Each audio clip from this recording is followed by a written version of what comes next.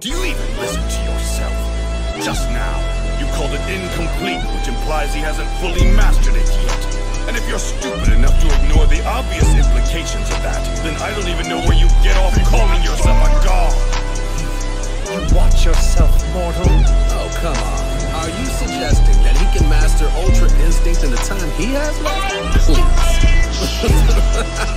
You're a fool. That's impossible. You bet your life on that. Come on, Find a way! I entrusted everything to you! My pride, my promise, everything! I won't tolerate failure! Trespass into the domain of the gods and use that might to conquer Jiren! Do it!